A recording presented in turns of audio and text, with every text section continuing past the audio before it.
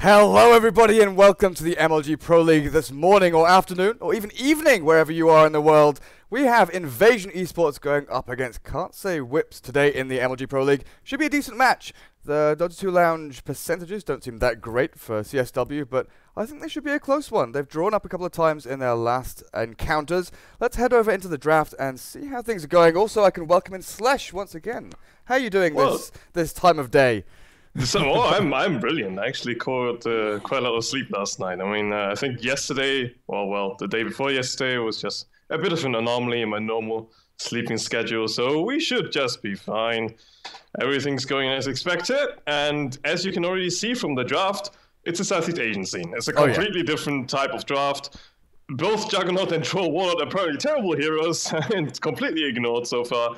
Uh, It's Naga and Tinker being banned out. uh, Naga still, you know, has always been a very prominent hero, mostly because of the popularization, uh, popularization that uh, Miracle brought to the scene. Uh, Tinker also is something I believe it's Chain's best hero. Tinker and so- Naga, yeah. I think one thing that I always notice about Southeast Asian teams, or th- like the sub meta itself, it's a lot more about tempo control. You Mm. have heroes like Naga and Tinker that you know may not do excellently in lane, but once they hit a certain point in the game, they can just keep things running how they want it. Then the same thing with carries. Like a lot of Southeast Asian teams ban out hard carries like Ember and Medusa because they do. If they don't get the tempo they want in the mid game, they can always sit back in their base and farm up. And I've seen so many games turn around with like a Medusa or Ember Spirit. They hel- hold up in their base for like 20 minutes or something. Then all of a sudden, one team fight, they're running down, taking tier three towers themselves. But let's run through this draft quickly. Axe, Bat, Medusa, and Ember banned out by CSW. Naga, Tinker, Chen, and QoP. Chen again is another popular hero from Southeast Asia. It's it's kind of interesting to see that Europe is kind of behind the curve on this one. Sniper and Chen were picked up a couple of months ago. You know, th- at the start of the year by SEA teams, whereas Europe have only started really the past couple of weeks to realize how strong those heroes can be. Venge and Beastmaster picked up by CSW, and Bristleback Witch Doctor by Invasion. So Bristleback is a tempo controller. He can dominate in lane though as well. So we'll have to see how well he does up on that off lane. Whether they run mm. dual lanes with him, no dazzle yet. But with the Witch Doctor, you don't w- really want to rely too much on that healing power. And with one zoning support, Witch Doctor, you would like to have a greedier one to go boots first, like, like an Earthshaker. Yeah, he doesn't necessarily go boots first, but he really does want his blink at, a, Yeah. at an early time.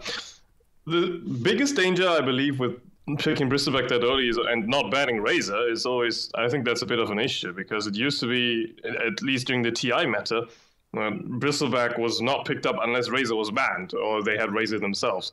Because it's one of those hard counters. And normally, preferably as Bristleback, you just want to charge towards the enemy line and start mauling things and then stacking goo on somebody. You know, stacking goo on Razor is just not going to work since he just purges the whole time. And then st- what is it called again? Static charge Static or link. whatever. Static link. Uh, and he, he just static Oh. links you and unstable current procs the whole time. That's Yeah. what I meant to say. Sorry. Um, it's one of those things where Bristleback goes in, Razor starts linking him, and then Bristleback can only run away because otherwise it just doesn't do any damage anymore. Yeah, and Bristleback And- does rely on his right click a lot. Quills, sure enough, when they stack up, Yeah. they do plenty of damage, but it's the uh, Warpath, his ultimate. When you get the Quills stacking up, he's doing, you know, 200 damage a hit. It's pretty crazy.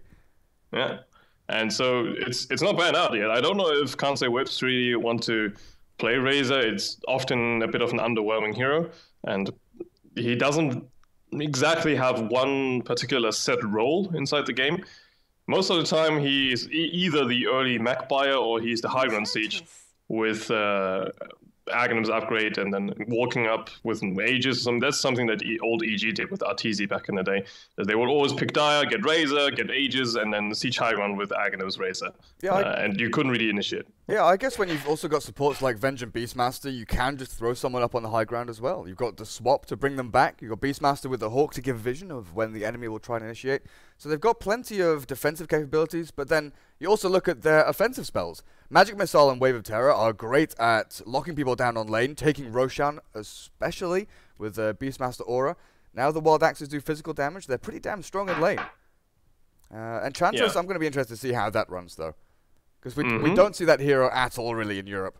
Chen has seen a lot of limelight of late, mainly because of like his Aghanim's upgrade, the fact that he can now get one, two, three, four creeps at said levels rather than going what was it one, one, two, four or whatever, whatever crazy number it was. But uh, Yeah. Nature's Prophet, again, another hero that we just do not see. Yeah, it's a different meta. I'm a bit surprised that they are picking Prophet though against Beastmaster. It's Beastmaster is one of the best heroes at catching Prophet off guard. Sprout doesn't really do crap against him since you can just wild axes out of it. Uh, Hawk can scout out the Prophet, so he doesn't need to even be there himself to catch the Prophet. Uh, another hero now again being picked up by Can't Say Wips. Um, in my opinion, underutilized. I think Weaver is a very good hero Yeah. overall and should be u- utilized a lot more. I think especially Um, in lane against Nature's Prophet, he's going to have a great time. I think the Yeah. NP pick was kind of because the Enchantress is there. He's not going to be zoned out by two supports. So he's not really going to be worried about having one support stacking and pulling and keeping the lane away from him, and then another just harassing him away. So he can get quite a bit of experience and gold there until Ench comes in with a creep. But as long as he wards correctly or keeps one of those treants out there scouting things, he should be fine. But that Weaver pick really does make his life a living hell. Yeah, it's not going to be easy laning against a Weaver. There are very few offlaners that can stand up to a Weaver. Uh, like, sometimes even solo save, or just you support him for the first two levels or something along those lines until Weaver gets boots. And then lane's pretty much over. Like there aren't too many outlaners that can do anything at all against a Weaver. And Weaver is also one of those heroes that if you play it correctly, you can dive a tower fairly easily on your own, since the tower ta- does target the bugs first. And if you go swarm early. Troll, last man. Um, yeah, it would be very scary if they get a troll as well. But then again, I just don't see why these South Asian teams are really not valuing the heroes that much. Because I think uh, Troll is kind of borderline OP right now. Uh, one of the better heroes for sure. Yeah, like say whips. Yeah. 75 mana on Battle Trance is what, a 20 second cooldown? 30 second cooldown? It's ridiculously low for an ultimate for what it does. And when you couple it up with heroes, you know, like Sniper, even Enchantress here would be pretty ridiculous. Impetus with Battle Trance, just throwing out those spears left, right, and center, demolishing Yeah. heroes like Nature's Prophet and Witch Doctor. No need to go Mask of Madness for Enchantress if you have a troll on your lineup. It's uh, would be pretty damn cool. Can't Say Wips, their biggest weakness I'm seeing right now in their lineup is they're all really squishy, uh, including Beastmaster, one of the lowest strength gains in the game. I believe the lowest for all strength heroes. And yeah, they don't really have a frontliner so far. They don't have a frontliner, and their team fight is just flat out atrocious. Yeah, so they've far. got no AoE, nothing to, you know, draw in all of the enemies and bring them into one place. I mean, they don't have anything to couple up with that, but I don't know. Creep clearing as well is going to be difficult. If Invasion group up as five and go towards tier one, tier two towers, CSW kind of has to just split push. There is no way they can take a head-on-head fight, especially with the Death Prophet picked up now. Exorcism, like you said, against squishy heroes that CSW have, low armor, low HP, they can't stand up against those ghosts flying into their face. Yeah. Also, the ghosts don't really care about untouchable enchantress either. Very true.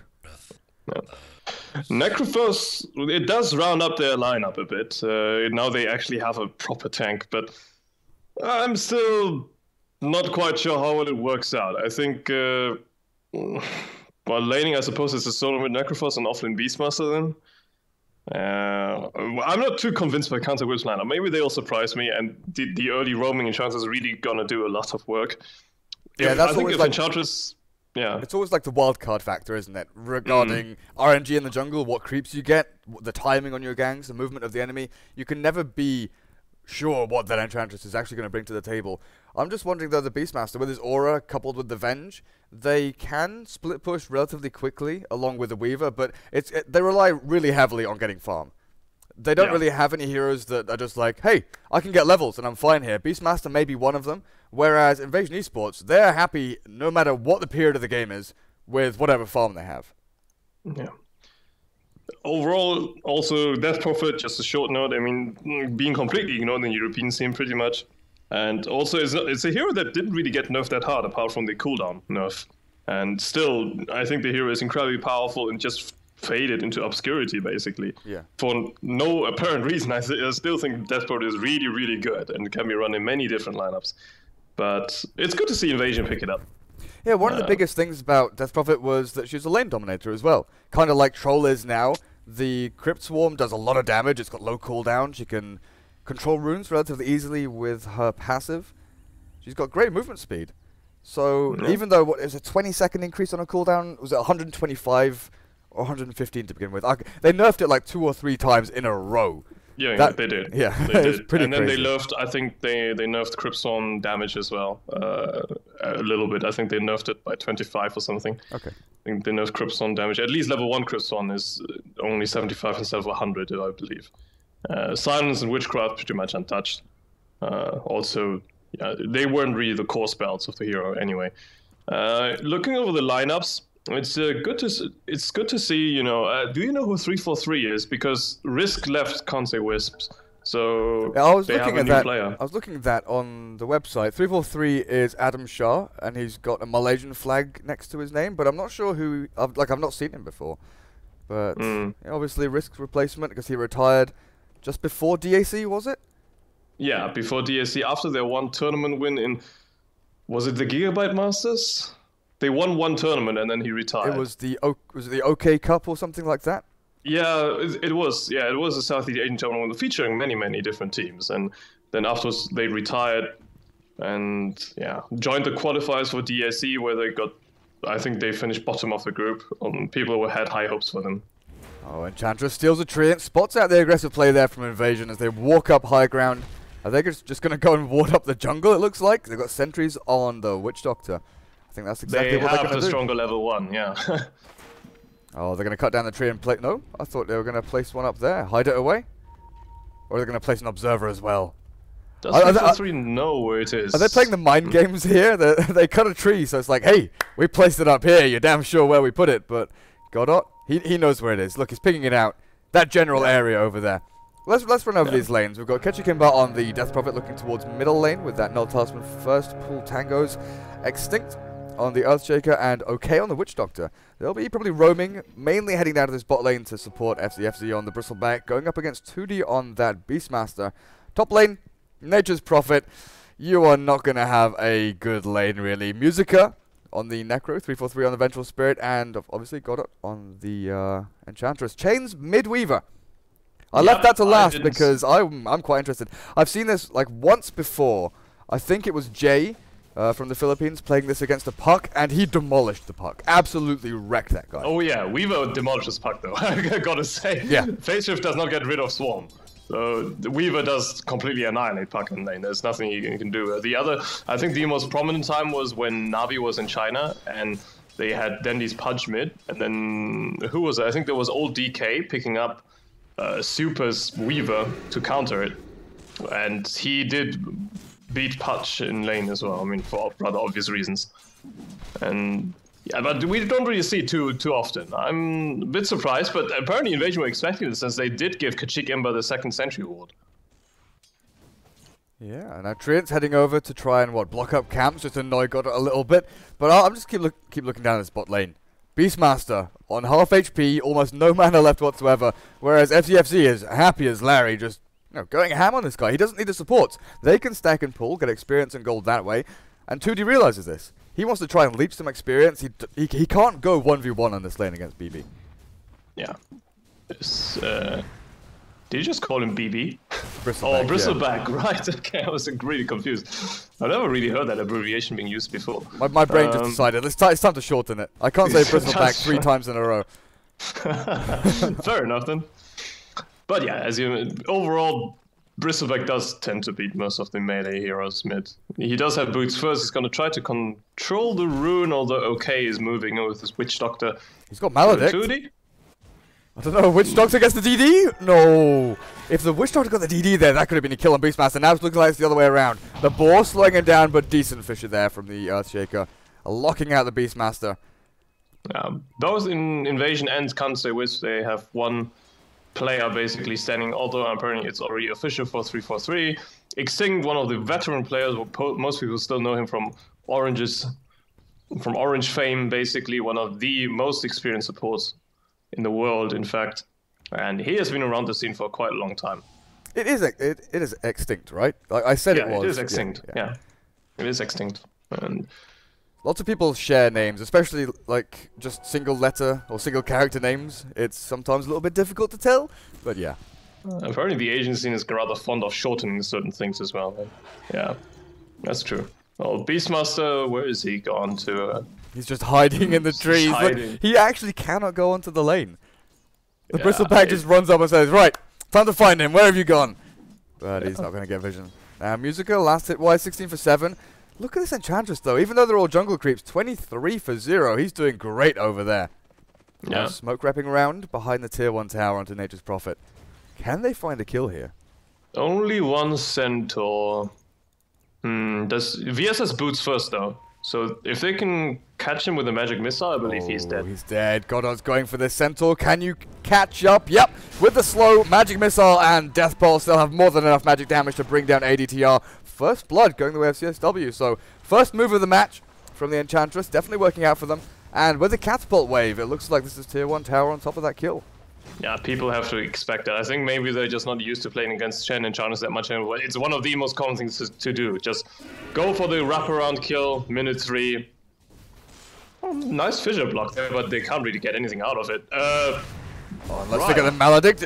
Uh, Witch Doctor's going to die, but Musica's probably going to fall as well. He doesn't have any heals left. Nature's Prophet right-clicking away with the second. Maledict on top of Oh. that. Vengeful Spirit getting hit by creeps, but it looks like X will have to back himself up as well. That, you were saying they don't really expect it, but wasn't Extinct like a really strong Chen player back in the day? yeah. Yeah. people did ban Chen enchanters against him. So I would have Uh, thought that so, he'd be, you uh, know, calling, okay, it's that time of the day, and Chantress is going to be looking for the wraparound. Yeah. But most of the time within the game, if you're on the complete opposite of side of the map, then you maybe just be focused on your own game. It is difficult after all. Uh, last hitting wise, there's no one that's doing perfectly here. Like, they're all pretty low last hit on the lanes, which quite surprises me. Yeah, Kecik is has missed a lot of CS. I was watching mid lane a lot, and he missed a lot of easy CS in, in there again. It's not going too well. With a Sentry Ward in mid lane, he should be able to comfortably beat the Weaver, but sometimes he uses Crypt Swarm a little bit too early and missing CS left, right, and center. Do you think there's lags an issue here? I'm, I'm not sure. Uh, they're playing on the Singaporean server, aren't they? So, and, I mean, I would understand for CSW if they're missing last hits, but for Invasion, I don't think they should. Oh, regardless, we've got two heroes from Invasion up in the top two or of the last hit board. This Enchantress, though, keeps on farming. Basilius and Boots, what kind of build do you reckon here? Because Chen's now we see Arcanes into mech, then Aghanims, things like that. Enchantress doesn't feel like that kind of support. She's a jungler that can definitely transition into DPS. Midas is a possibility. Oh, I still hate this Enchantress animation. Like the spear that Which one? flies off to the side. Oh yeah, it looks really funky. gives me motion sickness. Yeah, I think Enchantress, the overall best build for her is just strength treads into Urn. You need some early strength Okay. since her strengthening is absolutely atrocious. You kind of want her to at least survive the, the first salve of the spells that are being used. But then- another smoke gang coming in, Chains controlling top rune. Looking at mid lane for sure, but KecikImba is really quick on his feet with level 3 Witchcraft. Oh yeah, definitely. And I kind of had the same question about Nature's Prophet. What kind of build do you expect from him? Because there are so many that people like. It's player preference really that you favour. But it Mm. looks like he's going into nulls. So picking up Oh, some of the European pub strats, ADTR. Is he going to get scattered out here? He's got that tree and that spots out the smoke. X ready with a Fissure, so they realize this time, and it looks like the Earthshaker's like, you know, is again that time of day. Three minutes later, and Chantress will be Yep. looking to wrap around with the gang. Extinct is essentially just. It's it's a very common thing in the Asian scene having a Earthshaker roaming around. The own his only real role is to prevent gangs from happening or setting up counter gangs. Like setting ganks by, up by himself is, isn't that easy. He, he would probably need the Witch Doctor for the initiate. He's like the Steven Gerrard of Dota. Sitting, like sitting just in front of the defensive line, like, right, I'm here, I'm gonna stop anyone running towards our core heroes. It's fine, don't worry. But then, Yeah. you know, he, he grows old and doesn't really get anything. he doesn't win any t- titles or trophies. I feel like on the talk of Steven Gerrard, just I feel really bad for him because he was definitely one of my favorite uh, favorite players back in the day. Um, I think at one point he even played striker, but that was a long, long time ago. I think he was uh, rather young and spry at that point. Uh, not anymore the case, but He's moving to America now, I think. Uh, last I heard, he's moving to like Galaxy or some American team. I'm, I'm pretty sure. I can't remember if that was a rumor or something, but that, that's what I've heard. He, he's like 35 or something now. You know, he, he's getting old. It's time to go and make some money in the US. yeah, it's a very common thing to do for European professional players. It's just if you're getting old, you know, just have one last stint at, in the US, make enough money to set you up for life and the next generation probably as well. Yeah. you're good to go. Mech fully completed by Musica there, 8 minutes in, so they're probably going to be looking for a timing push. They've got no tier 1 towers yet, and I kind of expected one to fall already. Witch Doctor in the, in the meantime gets ripped to shreds by 2D's wild axes, but KecikImba and ADTR have TP'd in, ready to try and find a counterplay. But there are no stuns, no slows, nothing they can throw from range really. Yes, yep. wasn't that quick off the mark. That was a pretty good rotation, and they didn't even need to expend the roll for doing so. That was just, I think, overall misjudgment from OK. Before that, his TP to his top lane was also really odd, sweeping towards the tower and dying instantly to Musica's level 3 Death Pulse. The Mechphus and Necrophos, it's kind of debatable, since you do have mana issues. In a fight, if people are actually initiating on you and you cannot instantly get Sadist stacks off, then it gets really difficult. It's 225 mana and death pots are 185. Look at his overall mana pool. I mean, yeah, you, you get, basically you can you, you get can only get death pulse and ulti, and that's it. Yeah, that's it, and then you're out unless you kill somebody. And you'd really love to be spamming out death oh, as often as you can. That's oh. gonna be a oh. raw and should be another kill. Look at how much damage those wild axes do. It's always kind of yeah. difficult to judge when or where they're gonna land as well. But when you're roared up you know pretty sure they're going to fly through your face and give you some lacerations. Witch Doctor trying to get some experience down on this bot lane now. His teammate and comrade has just fallen next to it. Weaver, what are you building into?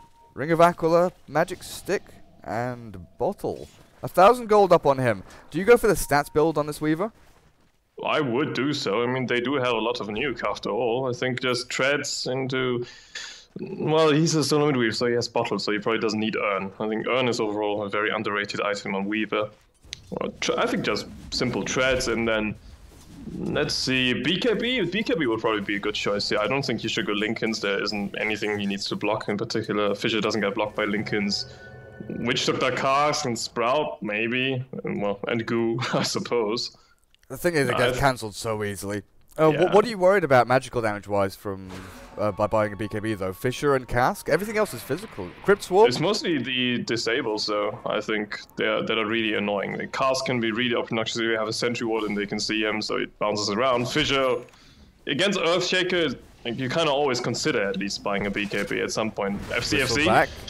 Chains here, puts down the swarm, We're gonna get as much damage as you can out. The Reaper Scythe, yep, there we go, thrown out, takes down the Bristleback, and the time lapse back to a safer position. A TP was cancelled there, I'm assuming from the Earthshaker. But now Extinct is scattered out by the Hawk. Magic Missile to start things off. Wave of Terror and Roar expended. The Soul Ring allowing the Wild Axes to fly from 2D. It is a neat little mm, little thing to do with having maxing out uh, Wave of Terror and then reducing the armor so Wild Axes do more damage. Yeah, and it's a neat little thing. They're opening the map completely. They're sending yeah. three top and then when you expect the TP reactions to come in to try and save that Bristleback, then you go for a play the opposite side of the map. So CSW definitely making yeah. things work. Their movement is just much better than the invasion. Invasion is like all over the place. They sometimes have Bristleback off lane, sometimes Prophet safe lane, and then they just get picked off the whole time. It's surprisingly not even the Enchantress that has been doing most of the work, but the VS. The VS has been roaming across the map and it's just setting things up the whole time. And she's rather rather fun for support VS 11 minutes into the game. Yeah, level 6 with Medallion completed. You can't complain about that, really. Now, Musica heading down. They're going to take another Tier 1 tower bot. The top one did get denied by the Death Prophet. He didn't miss that last hit, I'll tell you that. uh, it's also necessary to deny the CSW any momentum they can possibly gain for taking the tower. Is this the uh, part of town you want to be in, Bristleback? There's a couple of heroes flying around.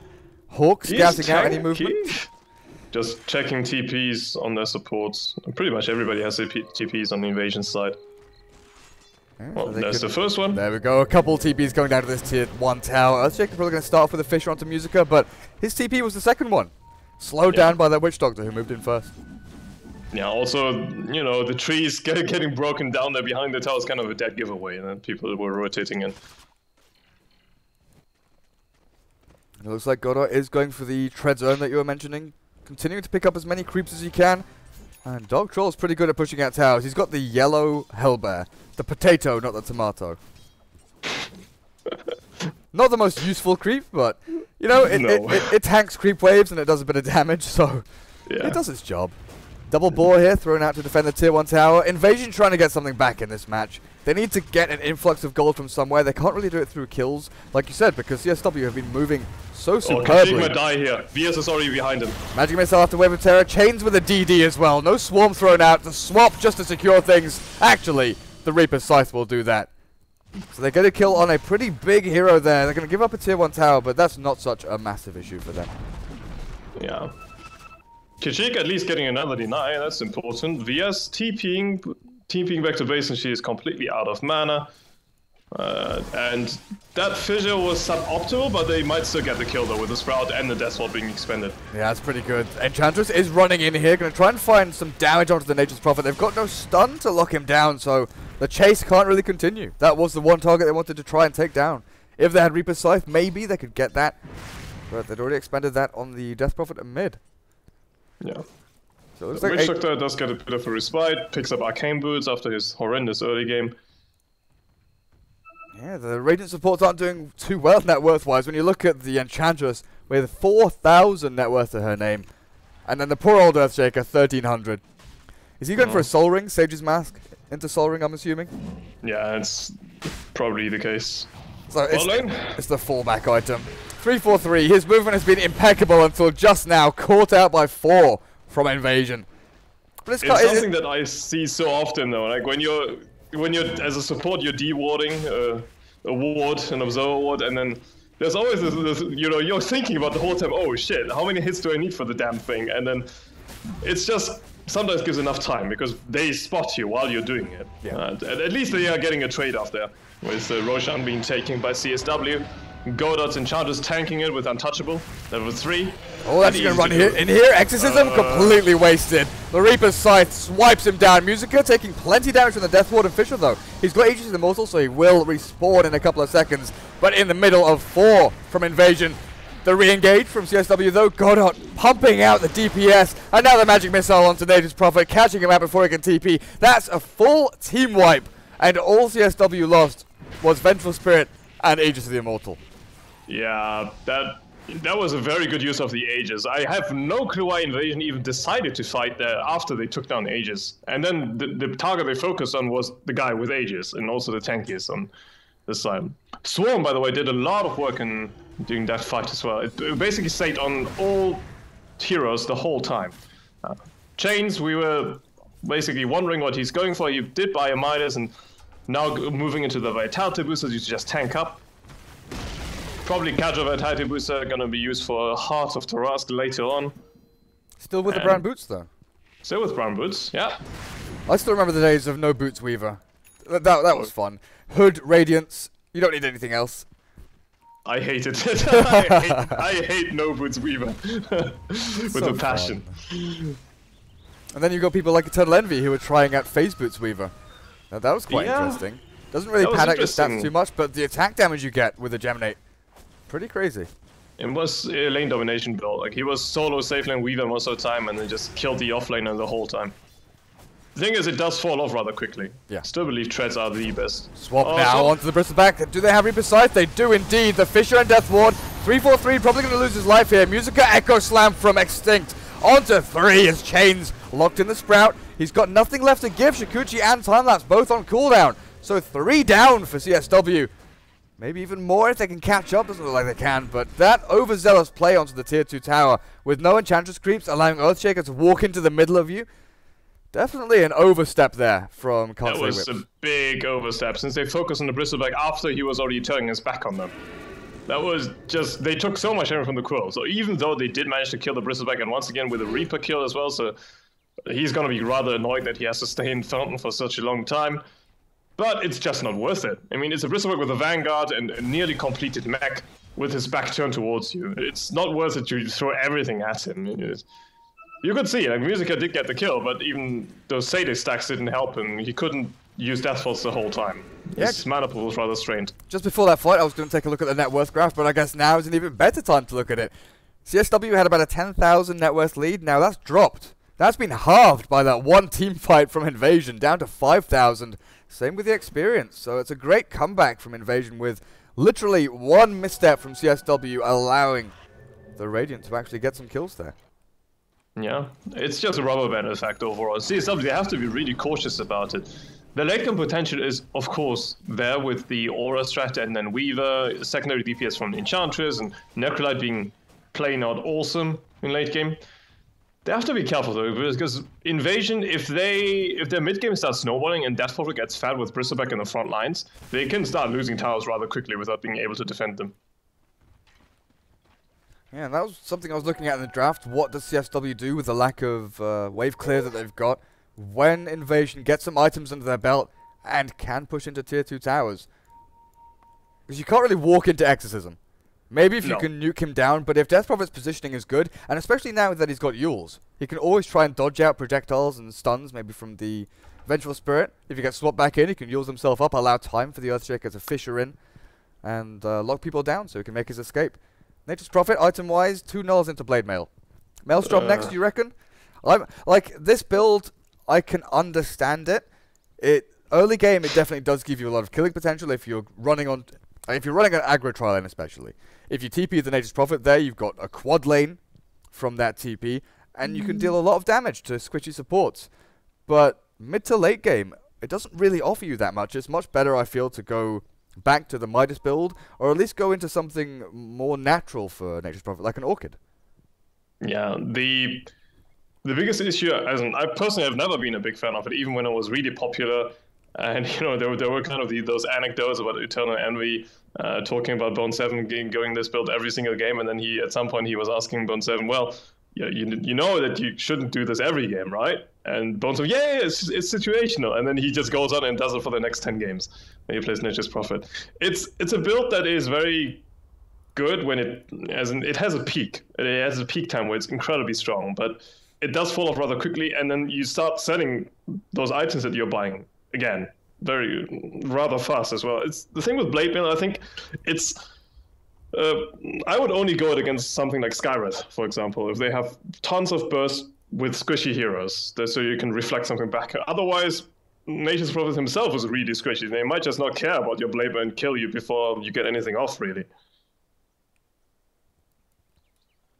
I think overall the Maelstrom build is pretty good for farming Potentially It does scale better into the late game. And if you go Nautas into Blade Mail, your farming potential also decreases. You can see it currently on the net worth graph. He's only fifth on net worth. Well, when you are thinking about the TI three times with Admiral Bulldog on Prophet, mm, that's kind of a completely different story. He would always yeah. constantly be in the top three at least. He'd be he'd be right at the top up there. Like yeah. 20 minutes in, he'd have like 12k net worth or something like that. But I fully agree with you. The Maelstrom offers you so many more avenues for not just farming, but also team fight, pushing. The Blade Mail kind of pushes you into a situation where you're TPing into the middle of everyone, you pop the Blade Mail, and you're basically this big sign that says, hey, look at me! I'm the target you want. I'm in the middle of all of you. I'm the easiest one to actually try and lock down and kill. So it, it maybe gives a little more time to the Death Prophet to get some damage out. But when you've got a Bristleback on your team, surely you want him to be the main focus. Yeah, I think Prophet, they might not even care. The, the biggest problem with those, basically in Teamfight's Blade Mail is close to being useless because he is really squishy himself. They just need, they don't need one hero that completely bursts him down from 100 to 0 and then takes a lot of damage in the process, but they can just all chip a little bit on him. And then he just falls. I mean, look at what they have. It's basically one stun from VS, a few impetuses, and he dies. Blade is not going to reflect back that much, to be honest. Yeah. I think the Blade build in this game is at, well, questionable, uh, at least. Okay. Well, Chains is picking up a Mithril Hammer, so that's probably going to be a Desolator. I don't see him going BKB after that Vitality booster. He seems to have tanked mm -hmm. up enough. I don't know, though. After a team fight like they had at bot, it can be a case of, okay, well, they just demolished us because they got a big 4 5-man Fissure, and then Earthshaker walked in and killed us all. If I had a BKB there, it could have been different. So we'll have to see what he actually goes for. Desolator probably going to be the best for taking down towers and actually doing damage in team fights. But you know, morale-wise, after that, after that uh, wipe at bot lane, I could definitely see him going for a BKB. Yeah, I think eventually he needs to go BKB no matter what, because otherwise they cannot win team fights. It's very simple. None of their heroes are very good for sustaining apart from the Necrophos. And if Necrophos somehow gets bursted down, there is the potential with Death Ward every single time. Basically, Fissure into Death Ward into Sprout, and Necrophos, no matter how much he can heal, it has a cooldown. And he can he can fall. Uh, Yeah. Necrophos, I think the item builder, I agree so far. I mean, he did go for the early mech, but then padded out stats with Treads and then going uh, right off Atos, which I think is a good choice. Like the one And thing they have to rely quite heavily on is Vengeful Spirit. If Yeah. and his swap kind of has to always be used on Necro. Weaver has got the escape and mobility with time lapse and Shukuchi to get out of uh, Invasion's lockdown, as long as he doesn't get silenced by Death Prophet. That, that that is another thing that I haven't mentioned that BKB would be really good against. That that silence is a big old. AOE. Yeah, it's a big. uh, At the moment, it's only level two, but eventually it's gonna get maxed out, and it is a six-second silence after all. Basically, it's one fissure plus one silence, and Weaver just stands there going, "Well, this sucks." Yeah. So Vengeful Spirit going to have her work cut out for herself with the positioning and timing on the swap. I don't know. When we were looking at this draft, we are kind of like, well, what can CSW do? Their their lanes don't look that strong. They've they've done very well with Enchantress moving around the Vengeful Spirit as Mhm. well, like you mentioned earlier on. Their movements have been great. Their auras do stack up and scale pretty decently into late game. Weaver obviously isn't really a late game carry; he's more mid game oriented, running in and demolishing lower HP heroes. Then you've always got the Necro. Necro is probably the strongest anti carry right now. Like we used to talk about anti carries back in TI3 with Razor and things like that being picked up against Life Stealer and Lone Druid and stuff. But now it's all about the Necro. Yeah, well, Necro, it's his his ulti is just bullshit. Look, I, I hate playing against it, but luckily he isn't too popular in pubs. But it is a hero that is very, very like he time he kind of prevents single core lineups. He's incredibly good against four protect one because you kill the one that people are protecting. He has no buyback. You win the game. Yeah. GG's. it's kind of silly in a way because you just need one pickoff, but against four protect one lineups, say with anti-mage, with Medusa, or well, what what else? What else is there? Spectre, Spectre, of course. One of the hard counters is Spectre War since she's so tanky, um, and also being being run the four protect one. Morphling as well. You just need a, some initiation, decent bursts, and then a blink necro, uh, necrophos with Aghanim Scepter, and you delete them from the from the game. Good luck, have late fun. Game, yeah, especially late game, it sometimes just amounts to two and a half, three minutes without your main carry, and then you can't do crap at all. Well, your main carry most often it has to be the hero that is split pushing the lanes out. Uh, so he does run the risk of dying. And also the fact that Necro got changed. His ultimate, if I remember correctly, used to scale. Like it, it did some kind of percentage thing where depending on what time of the game it was or what level the carry was. Really? I, I, I can't remember what it was, but they changed it to a flat 30 seconds. They added respawn time. Oh yeah, that one. That- Yes. they, they used to be different. So now Oh, he's that's what you better mean, yeah. early game Mhm. than he was before. So you can just Yes. take s like when you're adding 30 seconds to someone who has a respawn time of 20 seconds. You know that, that's pretty nuts. That's about an extra one and a half times, uh, an extra one and a half respawn time for them basically. Yeah, I think the longest you see sometimes is basically a hero that just bought back and then died to Necrophos ulti. So It's then two his buyback. Uh, it's over two minutes. I've I, there are some sometimes it, bugs out, so you don't even see how long it is anymore because the number is too high. Right? And I think the biggest one I've seen is like 150 or 160 Oh, seconds. God. Yeah, it's nasty. It's really really nasty. It's essentially you can you know go go to the toilet, get a drink, and then come back and you're still dead. I mean, if if I was one of those guys and I had a Midas or something like that, and like my my Midas is uh, off cooldown, guys, but I'm dead until you know I I can't use it. Yeah. I want to go and kill creeps and get gold. It's one of those things, Necrophos in, in late game, if you only have one carry or you have one main guy, say, for example, you somehow take out their Enigma, who is your only team fight with Black Hole, and then you have no Black Hole, no fight. There are some just teams, you know, it's five on four, okay, we call GG. There's nothing we can do anymore. It's so it's over. That's just Necrophos. Invasion are smoked up. They're running around in the river, not going to find anyone. They've got a bounty rune for their troubles. But look at these dire wards. They're so deep and aggressive in the jungle. I quite like this one over here. Not really in the usual spot, you know, in sort of this area. Over to the left a little bit more. Still probably Mhm. going to get counted out by sentries that, you know, are quite often placed in these areas here to try and get that full uh, true sight vision in that region. It kind does kind of give a few things away since the big camp is blocked, so they should know it's somehow around the big camp at least. But uh, invasion so far grouping up as four on the bot lane. Prophet can always join them later. Mm, probably just forcing CSW to respond so far. Uh, is KecikImba gonna pop his ultimate? Yeah, he sure like is. he will. So tier 2 for free pretty much, and CSW, yeah, they, they cannot go into a 5v5 head-on-head fight. So they're going to try Not push. anymore, they can't. After losing that one fight, it's impossible. Like Invasion, they have enough items to fight them head on now, and that's a big danger I was seeing for CSW. They were supposed to be getting ahead in the early game with Enchantress VS roaming. They did a good job as well, a very admirable job, I have to say. But can they hold on to his, to this advantage? I think the Beastmaster is key here. If he can find catch people off guard and constantly kill people with Necrophos, then yes, I think they have a decent shot at winning the game. Well, he's nearly got Aghanim, so he's going to have that super long range initiation. You don't really need Blink on the Beastmaster in this game, I don't think. You can just get that super long range roar out onto a Death Prophet or someone like that, and then follow up with a couple of impetus hits and then Reaper's Scythe. How much damage is um. Enchantress doing right now? 1200 gold and about 100 damage plus the impetus. Yeah, you're doing pretty good DPS. Pretty good, especially if there's a Howl of Terror somewhere as well. A Wave of Terror, yeah.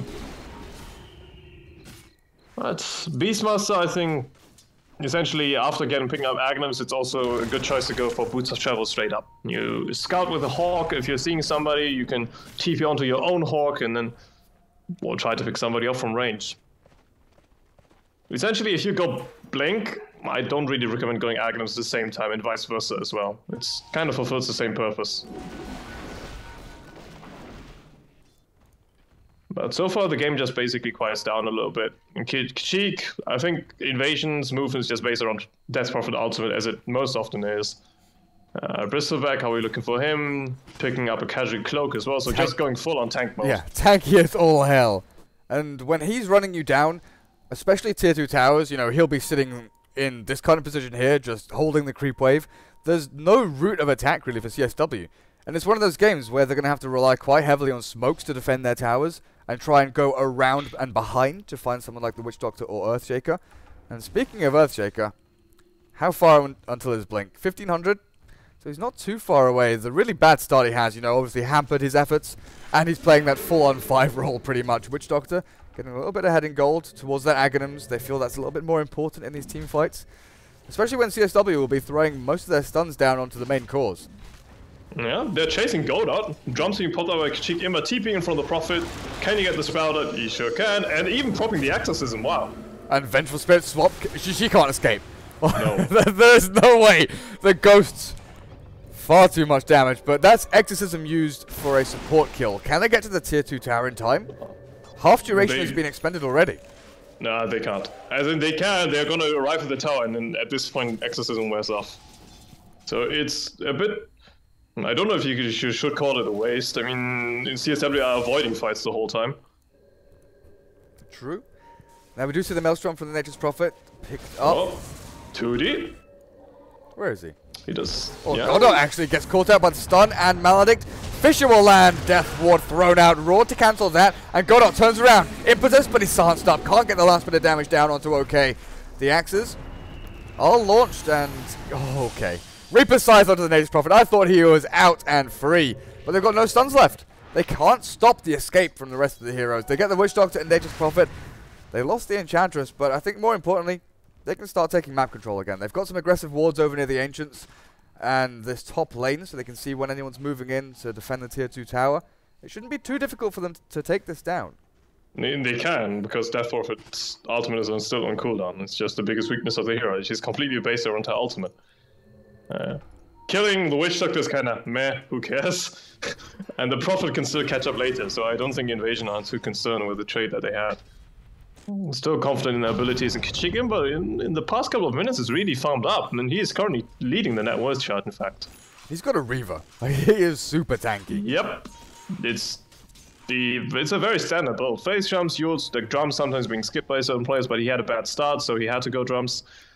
Then into Heart, and Shiva's Guard, it's the standard thing, and then Refresh Orb as last item. Man, that's a really long respawn time on the Roshan. 343 is standing in there, but mate, there's another couple of minutes until the big guy comes back. Um, Chain's also going for the aggressive build of the Desolator. He's only died once so far this game, but he really has to be careful in team fights. If Earthshaker somehow catches him, he just crumbles very fast. I like that 2D's got a gem though. They're, they're keeping their wards up, aggressive, also dewarding as much as they can against invasion. The CSW Oh, jump swing pop, you know, Can they but the catch boar is slowing. That Still- boar micro, pretty good. Yeah, not too bad. Uh, Trent scouting out Roche, so it looks like both teams are trying to center themselves around this pit. Invasion don't want to give the Aegis of the Immortal to you know Necro or Weaver, whichever one of those picks it up, because that could mean tier two and possibly base push from them. Um, is he gonna pop his ultimate once again? It's preferably he would want to wait for level 16 and then use it afterwards. He does have a completed heart, so yeah, good luck killing him right now. Chains, Shukuchi throws out the swarm, he's gonna DD up on him, but KecikImba, Exorcism has been popped. Vengeful Spirit really far back here, gets caught out by the Euls and demolished by the Ghosts. Medallion thrown out even to reduce her armor. Invasion okay? The Death Ward not really doing too much. Chains is going to clean up here. The help of the Reaper's Scythe bringing down ADTR, but Musica, the Ghosts, they're chasing everybody. Chains locked in place by Extinct. Earthshaker with a Fissure after Enchant Totem. Demolishing CSW right now. A couple of buybacks available. Exorcism now, cooling down, but Tier 2 tower, team fight 1. CSW once again trying to go in and fight 5v5 against Invasion, but when the Ghosts are up, it's really not something they can accomplish. No, even level 2, those were level 2 ghosts, I should mention. Now she's level 17, so gonna have level 3 exorcism for the next fight, which is which will be rather painful. I'm not envying Musica in this game because he he has to decide who am I gonna reaper. This time around he probably thought, well, we are about to lose the fight, might as well just use it on the prophet before I go back and annoy him a little bit, deny him a bit more farm time. I think it was a correct decision. Weaver once again he just crumbles, you know, oh, there's an echo slam, and I'm dead. There's nothing you can do as Weaver right now. Without a BKB, I just don't see him surviving. What's the Void Stone for? Linken's, I suppose. Is he going back for Lincoln? I, I would hate to think so.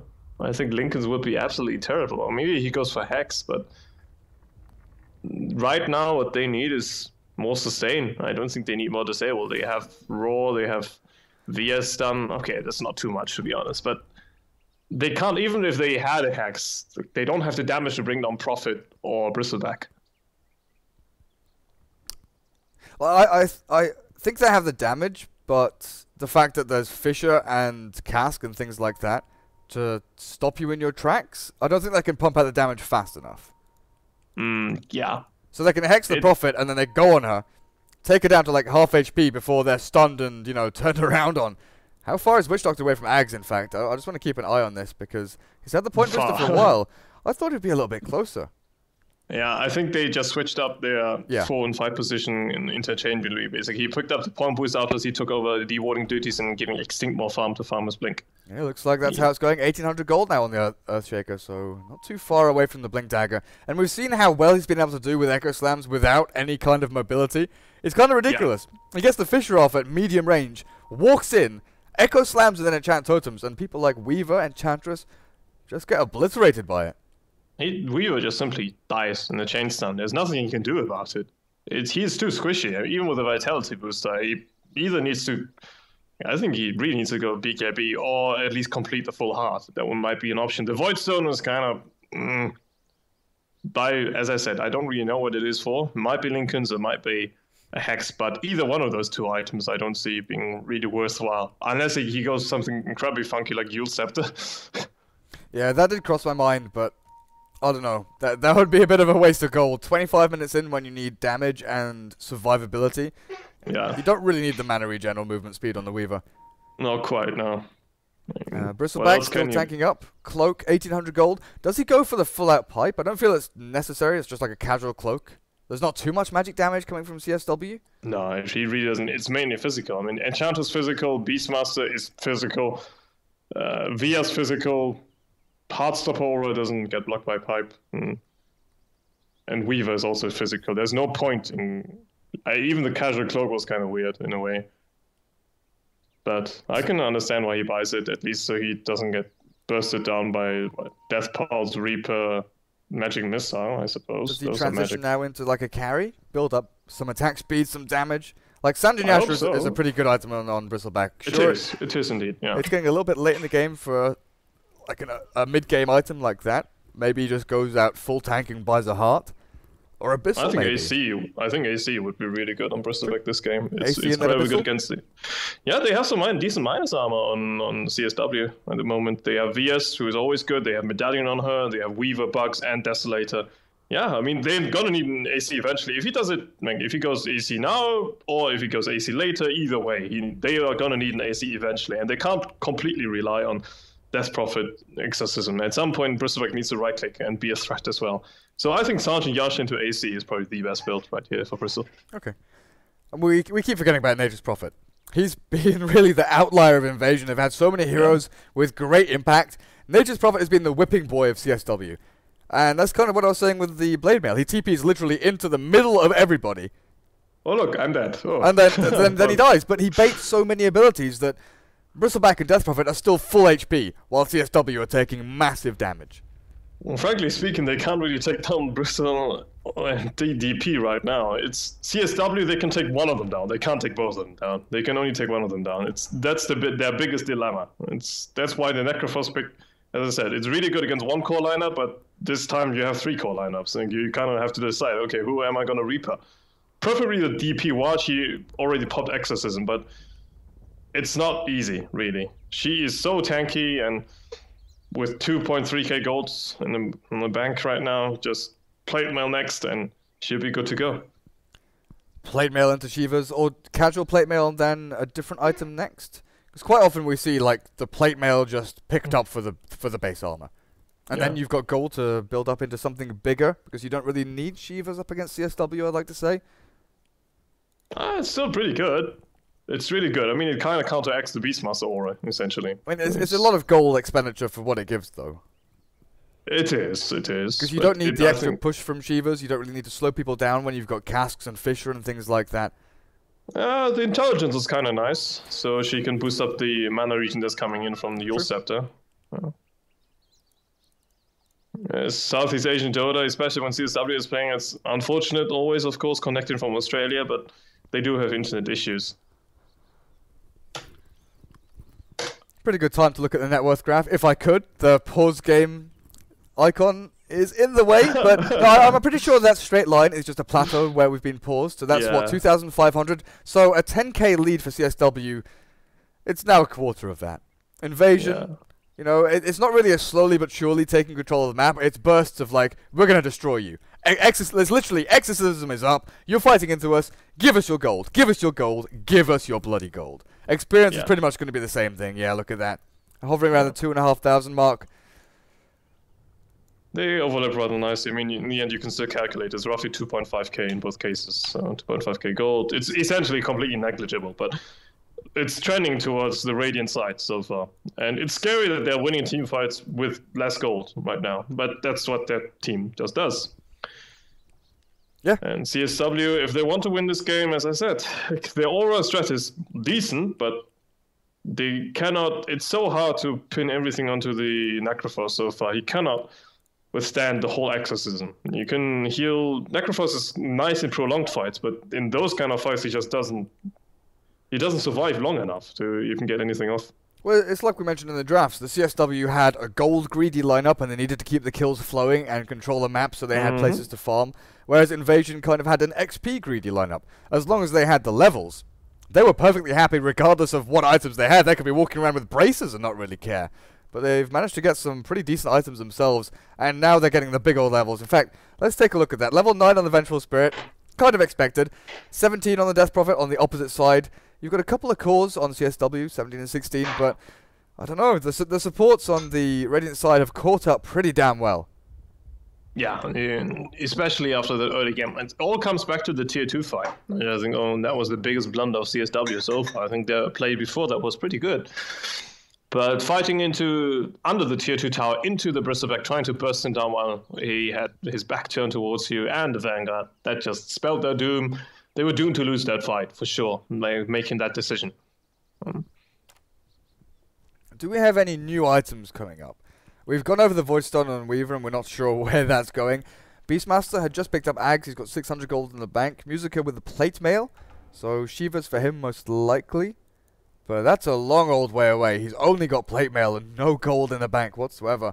Vengeful Spirit, poor as always.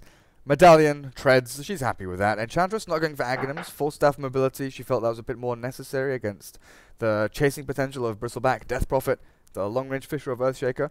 Over on the Radiant. Earthshaker again.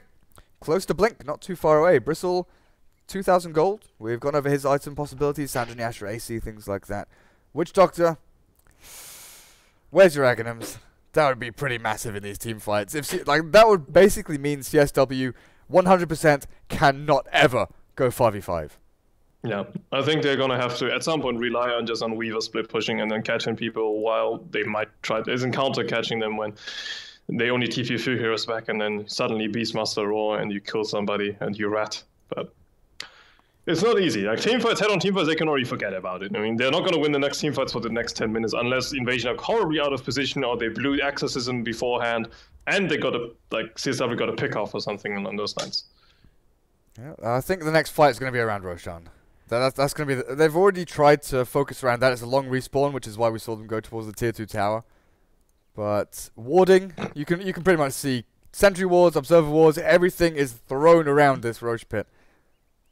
Who goes for it first? Can CSW smoke in there and sneak it under the noses of Invasion?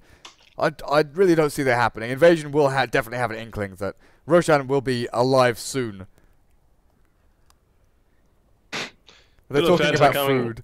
Yes. it's, it's making me hungry right now. It's really, really unfair. Talking about, oh, I could use a burger right now. Oh, wait. Godot is ITS? What does that mean? To Google. what does ITS stand for, guys? In, in fact, MLG chat, please tell us. As long as it's not rude or anything like that, tell us what ITS means. We're curious. Look, the, the Malaysians are always so funny. Like, I can't understand half of what they're saying. Like, sometimes it's a mix of English, Chinese, and Cantonese, or Mandarin Chinese yeah. and Cantonese. And then throw la at the end. And, and then somehow there's always a la at the end. And sometimes they also throw in a few Malay and Filipino phrases in. So high. Slash so high la you. what? I just called you a noob. You did? Yeah. Wow, I wouldn't even realize it. like at one point, I still remember when I was at TI, and then I was uh, talking to the Orange team. I think that was still when Yamate and Mushi were in the same team, and with Winter as well. And then, uh, like listening to them talk to each other, I just had no clue what they were saying the whole time. I, mean, I didn't know what language it was. I think Yamate was mostly speaking Mandarin with a heavy accent. Winter couldn't really speak Mandarin, so he was talking English with a Chinese accent. Well, at least that's what I would call it. And and Mushi kind of I don't know, sometimes Chinese, although his Chinese is of course drastically improved after his stint in DK. Uh, his Chinese is really, really good now. And iceiceice as well. It used to be during TI2 like, he barely spoke any Mandarin, but right now when I'm listening to him in interviews, his, his Mandarin is really good. Although he still trolls people when if he's the one in charge of like translating interviews and whatnot. Of course. Yeah. What, what was that one he did like six months ago? Oh, I can't remember what he did. He said something like uh, Dendi, uh, something about Dendi's sister. Oh, did he? yeah. That's just Daryl being Daryl. Uh, he, he always trolls. And the funny thing is, most of the Chinese moderators, as in they don't really catch on to it, mm-hmm. especially at a big event. And then they, they think that his translations are, are serious and they're taking it for granted essentially that he's not trolling but they apparently they didn't get the memo so wrong so so wrong right godot has reconnected but i'm not sure if he's going to have some more issues uh, the admin has decided no more pauses after this reconnect so fingers crossed that csw can keep him in the game because he really is he is a vital he is their main or one of their main damage output heroes yeah, I think they need an Agnus at some point on that on the Enchantress, otherwise it's looking bleak. They have to get the Enchantress to DPS massively. Aghanims, even Mask of Madness. AC, who knows? Get Enchantress stack and just hit from range and kill Death Prophet well before she can move in with Exorcism.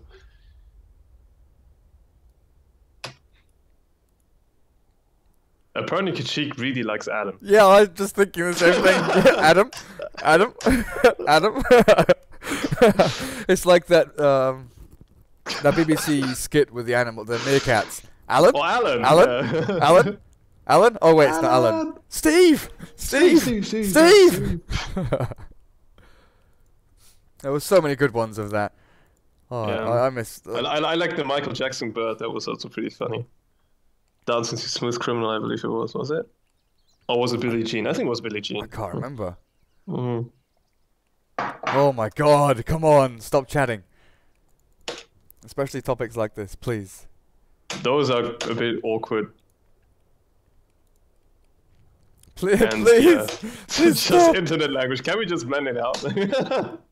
Just a big, a big, Kashyyyk- a I big think black- is, uh, is absolutely having the hots for Adam. yeah, it looks like it. Yeah. We just need one of those black sensor bars. Just a black rectangle, just to cover the entirety of chat. Yeah, those are some. Uh, I don't know if I want to know half of what they're saying. Do you miss, do you miss Risk's beard because you picked Beastmaster? Oh! What? Oh, we're starting Oh, the game. Way! Right. CSW, where do you Um, go from here? Push down mid lane, go take Roshan. We were talking about Roshan earlier. I think that's going to be where you look to go, but you kind of need a pick off first. Death Prophet would be obviously uh, the ideal target to get, but super difficult. Extinct nearly has his Blink Dagger, 300 gold away from that now. I think a good possibility for CSW is to bait a few fights and bait out Death Prophet Ultimate and then try to fight while she doesn't have it anymore. I think that's. That, that would be easy play. enough if you had more towers standing. I, would, I would say CSW, sure. Pretend to defend a tier 2 tower or something, and then, oh look, they use Exorcism. Let's TP to side lanes and push them out as hard as we can. But they've got one tier 2 standing. Like, the next move from Invasion is pretty much go high ground with the items they've got. Yeah, first contest Roche. It's the big boys up. And both teams kind of gathering around it and uh, oh god, no, please, please. No. That's an auto pause, but admin has said no pauses, so we're going to have to resume the game and go. Yeah. They'll have to micro the Enchantress. They've got impetus on autocast. Just click that hero onto someone. Looks like they're going to Smoke. smoke up onto high ground. The swap into Raw, catching him caught out. The impetus damage and the Reaper's Scythe taking him down. That's the pickoff they wanted. Unstoppable streak taken as well. And into Roche they go. Big smoke place. Completely caught off guard. Yep, and nobody was there. Like, Ideally, they had they would have had extinct, but he was busy farming his blink dagger, which he does have now. But they give up Rosha. I was about to say, I think Invasion should be the ones that are able to force out CSW simply by virtue of having Nature's Prophet split pushing. But they pick off the Death Roar before everything is said and done, and catching them completely off guard. Yeah, it was kind of awkward because CSW are walking up high ground, and KecikImba walked down the ramp at exactly the same time that they were walking into him. There was no vision up here, up on this Yeah. ramp. So if if the Death Prophet had sort of stood there and not gone down the, the little stairs, he could have been fine. They had heroes sitting behind him that were ready to react if he, you know, just runs back a little bit this way and then take the fight in this choke point. Could have been a lot different. casual deny of the Invis rune on top there. I don't know really why the Witch Doctor didn't pick it up. Maybe he was worried about the, you know, 2D has gem anyway, so what's the use? But Hasten Chains, big Echo Slam coming out there. Can they lock him down though? He might be able to get the look like silence off. There he is. Sentry is placed. They know which way he's gone. Throws out the swarm to try and slow them down. Sprout not landing on him. He turns around onto an extinct, but the Maledict with Death Ward. Chains falls. He's got buyback, but that's a big old kill that they did not want to give away. Yeah, it was a bit. It was definitely not clean because he managed to get Shukuchi out, so Earthshaker couldn't really see him where he was, and Prophet couldn't right click him.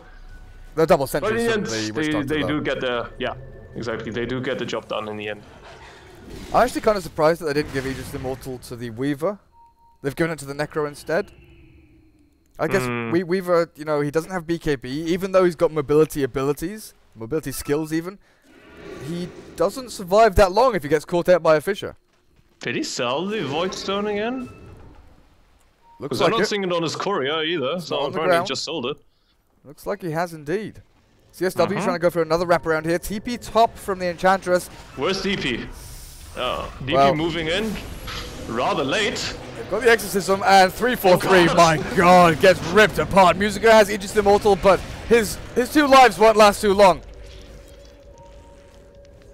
Yeah, I think the decision for CSW to initiate the fight with Weaver down, just a huge mistake. The Nice Signs also coming out, and the those auto pauses though. Yeah, it's a little bit annoying. But nevertheless, tier 2 tower, the last one standing for CSW, going to fall. And it's looking more and more difficult for the Dire to actually win a team fight or even take map objectives. Yeah, I mean, at least they don't have exorcism now for this high ground push. It's uh, running out. But Necrophos, he does have buyback as well. It is available, so they shouldn't be able to get the base. But I think Invasion, they really want to fight, force the buyback first. Fissure, a bit off the mark there. Nice force of usage by Godot, or, well, whoever's controlling him. I, I'd, I'd guess it's Musica, seeing as he's Yeah. dead. Microing that Enchantress shouldn't be too difficult. So yeah, you're right. Invasion backing up. We'll just wait for that Exorcism to come back off cooldown and then start going in. Ultimate Orb from the Death Prophet. Hex for Weaver, Ooh. so more, even, even more lockdown, I guess. Linken's against Reaper Scythe or Raw? Or Swap?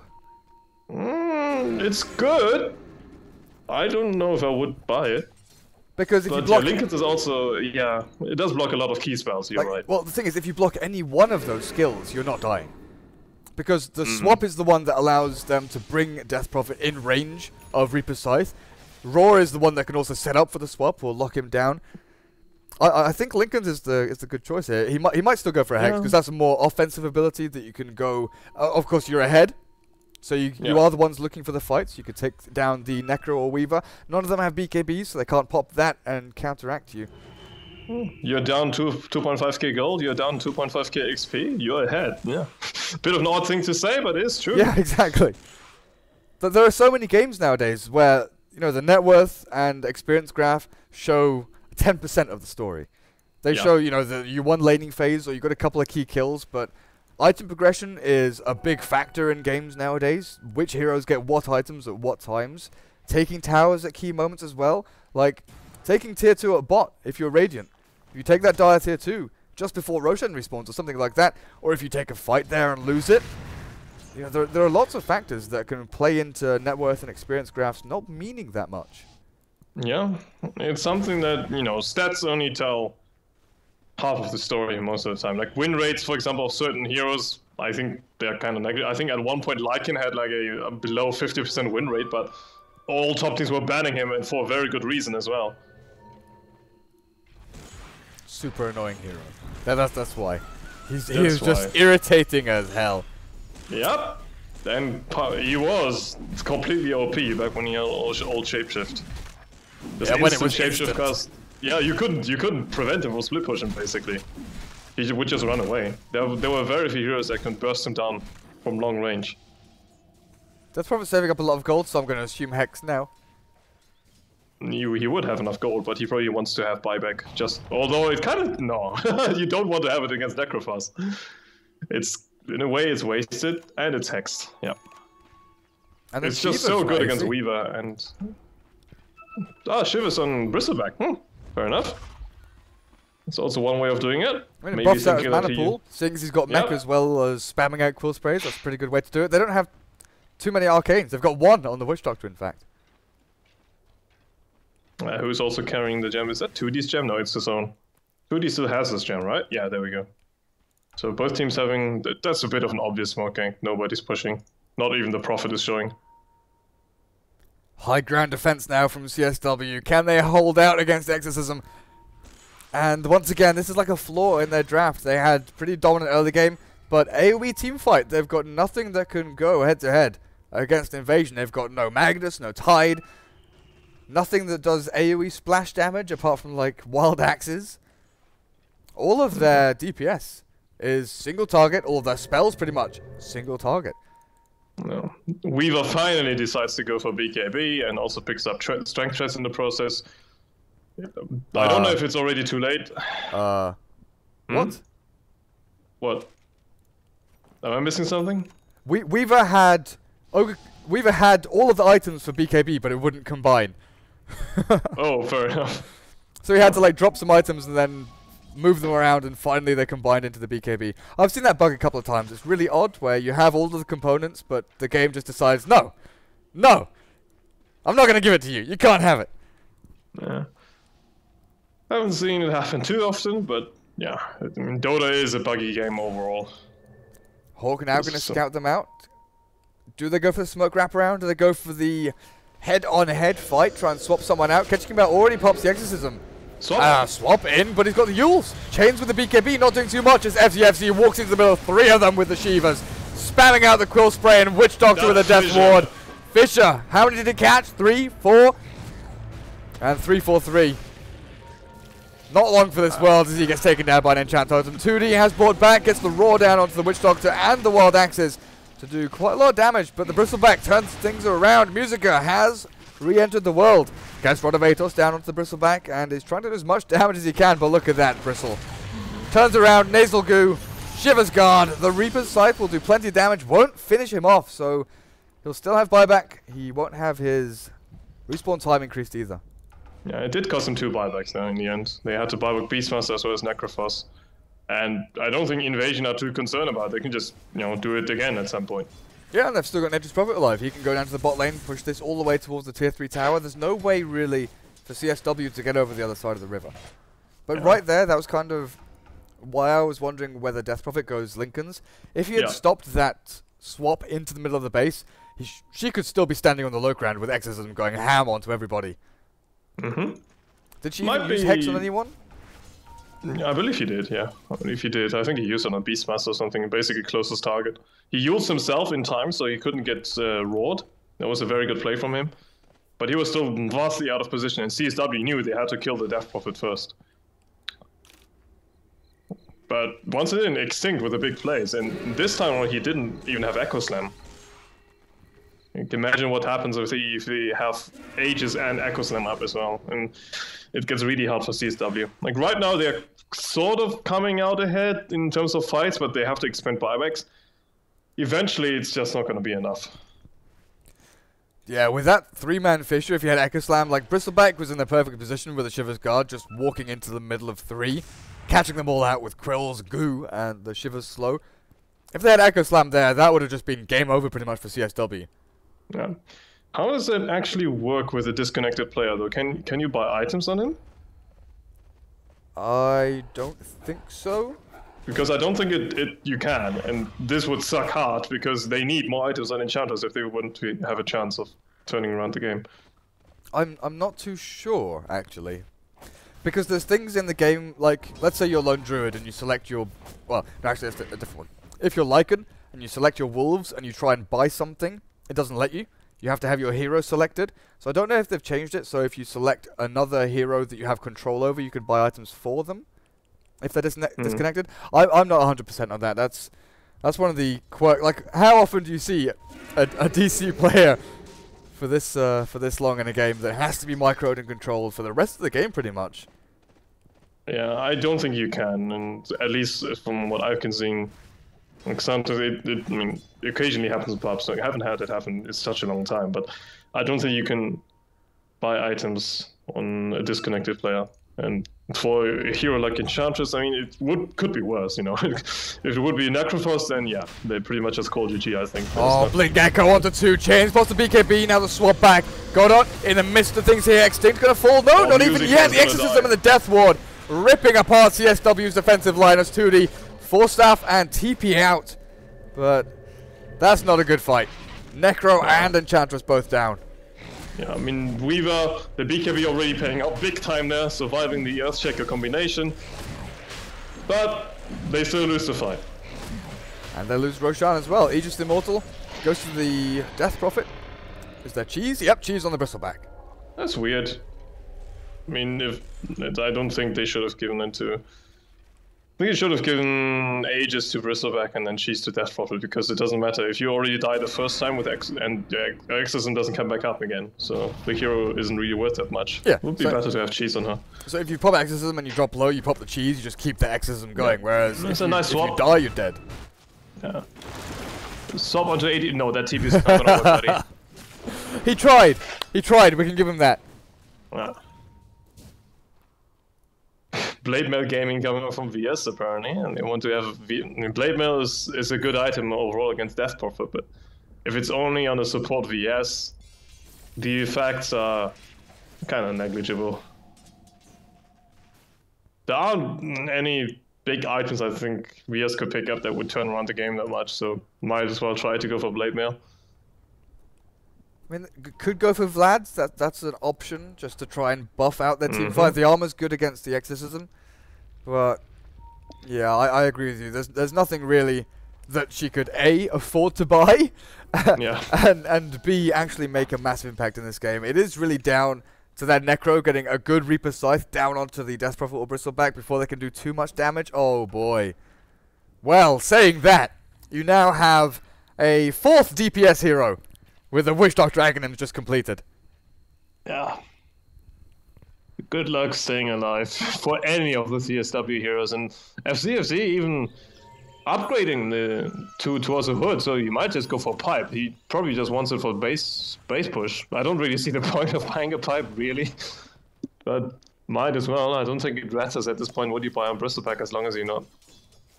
Like, frankly speaking, I think you can start building building a Dagon, and it wouldn't matter. He's basically gone for like the poor man's heart build with Vanguard Hood, just trying to pump up as much regen as he can. Oh, they're baiting him so hard though. CSW do not want in. They uh, they have a hawk basically seeing a few few of the heroes. They know that FCFC is definitely not on his own, otherwise he wouldn't be playing so far up.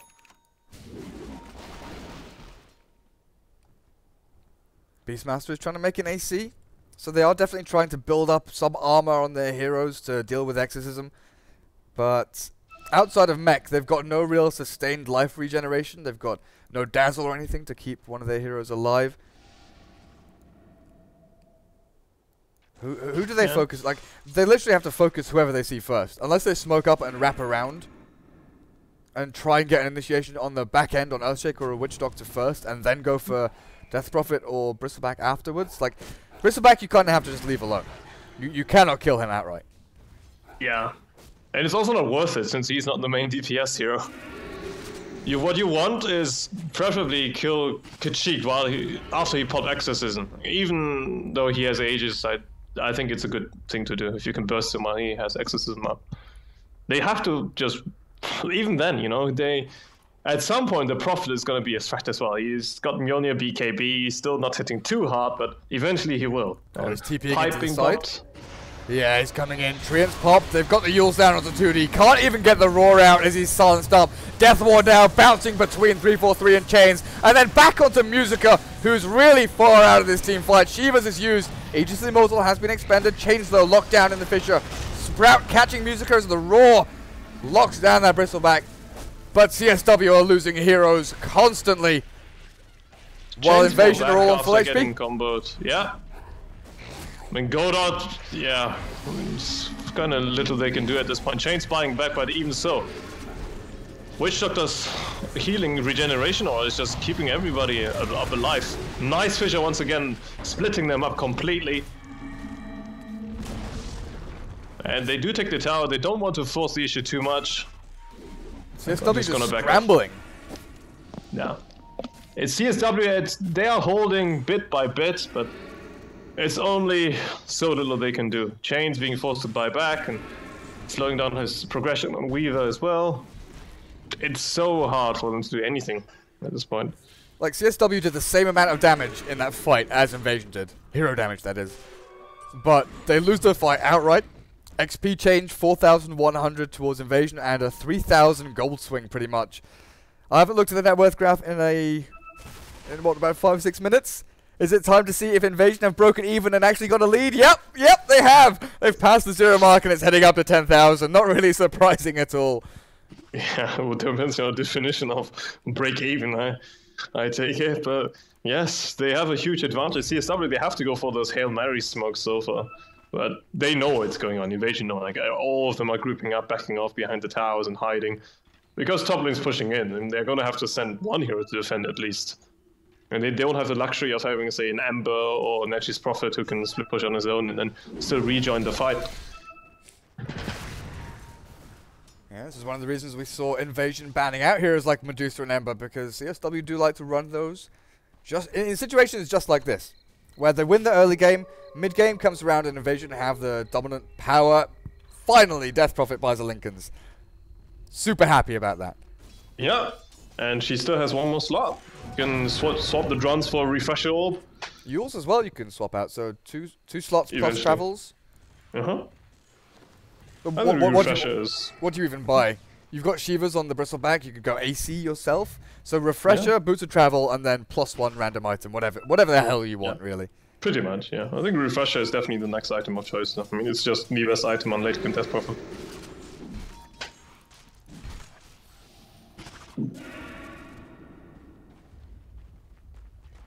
Overall, I- I just think, despite the good early game lead that CSW had, it came down to the draft in the end. It's, they have weak team fight. They have they have a terrible lineup from playing from behind, and item choices maybe a bit as well. I don't know if Revo would have made such a big difference even if he did go BKB first. Um, Echo Slam onto Duty, they catch him out. I was just wondering about that courier, but 343 swaps out the Beastmaster, saving his life for now at the very least, as Musica is caught in the Sprout. Nature's Prophet's TP'd into the middle of things. Pipe? Chains? What are you doing on top of that cliff? Pops his BKB and time lapses back down to low ground as CSW are on the way out. Trying to make an escape here and get back to their fountain, but racks are falling pretty damn quickly. I was just looking at that courier. Beastmaster was microing it with his hawk and boar. Uh, like, what are, you, what are you doing? There's a gem on the courier. Why are you microing this around with you? As Invasion take one lane, two lanes, maybe even three here. As CSW trying their hardest to mount a defense. Oh, nice aggressive force stuff usage Silence there. well. Hex. Chains. 109 seconds without him. Musica tries to turn things around. He's got Reaper Scythe, but damage output wise, limited to the Enchantress pretty much. 2D with the Wild Axes.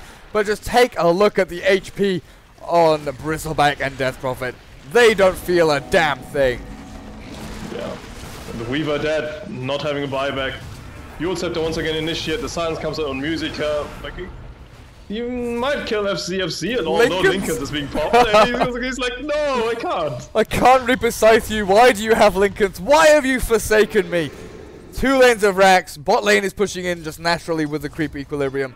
Tier 4 is going to be under pressure pretty soon. In fact, right now, Carty the Catapult launching a couple of projectiles over there, but he'll get taken down by the Tier 4. Invasion. They came, they saw, they conquered. CSW, respawn time is pretty damn long right now. I don't know where they go from here. Well, the one thing they can think of is like, can we get Godot back into the game? Exactly. That's that- game two, that is. That is course. exactly what I'm thinking as well. Just try and draw this out until he fixes his internet problems. He said he probably had router issues, something along those lines. So wait as long as you possibly can to see if you can get them fixed. Call up his ISP. Uh, Is, is, is gonna go for this solo kill? Yeah, he pops Soul Ring, yep. Of course. He sure why, is. not, why not? And Fissure. I thought Nature's Prophet was going to steal it with the Nature for a second there. Like yeah, definitely did look like that, but Nature's Wrath did hit at least.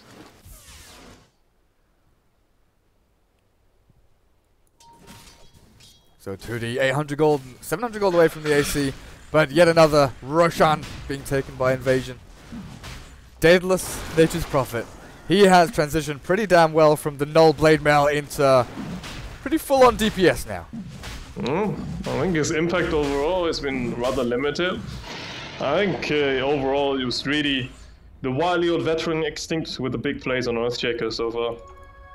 It's been really carrying a few of the mid-game fights that just transition into better late game for Invasion overall. Yeah, well- FCFC kind of a like, mediocre performance on Bristleback. Nothing flashy. He just stood there and tanked. I mean, Yeah. nothing more to say really. But okay, got caught off guard way too many times in Kecik.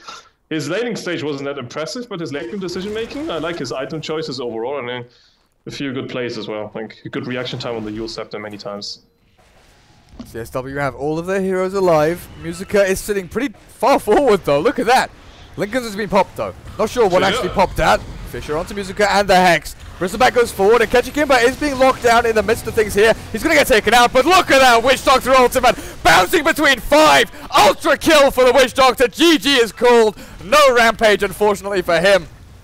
Like, I didn't even get the messages for the heroes dying. I only saw three. Two of them died so bloody quickly. But that's game one going the way of Inv Invasion Esports as CSW unfortunately losing Godot about halfway through the game. We'll be back hopefully in a couple of minutes with game two. See you in a bit.